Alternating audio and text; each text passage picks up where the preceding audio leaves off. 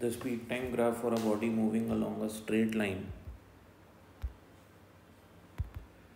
Is shown in figure, the average acceleration of the body may be.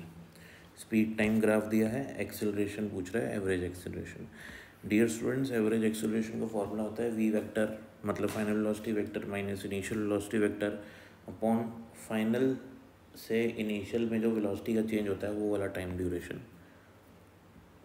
तो मैं zero से ten वाले जो टाइम ड्यूरेशन है, उसकी स्टडी करता हूँ ज़ीरो से टेन मतलब यहाँ से यहाँ तक। तो इस पूरे ड्यूरेशन के अंदर ज़ीरो से टेन में स्पीड का कितना चेंज आता है? भैया ज़ीरो पे स्पीड थी ट्वेंटी और टेन सेकेंड पे स्पीड कितनी हुई? फिर से ट्वेंटी हो गई। तो स्पीड का चेंज आएगा ट्वेंटी माइनस ट्वेंटी कितने टाइम में ये चेंज आया? टेन सेकेंड्स में। तो एवरेज एक्सेलरेशन क्या आ गया? ज़ीरो आ गया। वापस से देखते हैं। सेकेंड केस अब सेकेंड केस में कर रहा हूँ ज़ीरो से फाइव सेकेंड्स के लिए।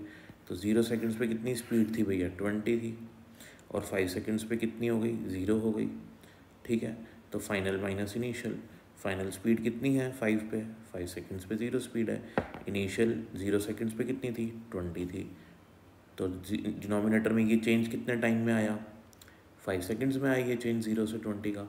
तो एक्सेलरेशन एवरेज एक्सेलरेशन क्या आ जाएगा?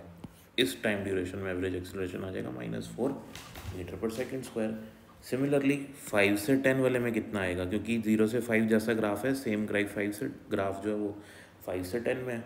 तो फाइव से टेन में जो मेरे पास एवरेज एक्सेलरेशन आएगा वो यहाँ पे माइनस था, यहाँ पे प्लस हो जाएगा। चेक भी कर सकते हैं, देखो। फाइनली स्पीड कितनी है? दस में, दस सेकेंड्स में ट्वेंटी है। तो फाइनल ये लिख दी। इनिशियल कितनी है? पाँच सेकेंड की, पाँच सेकेंड पे जो स्पीड है वो ज़ीरो है।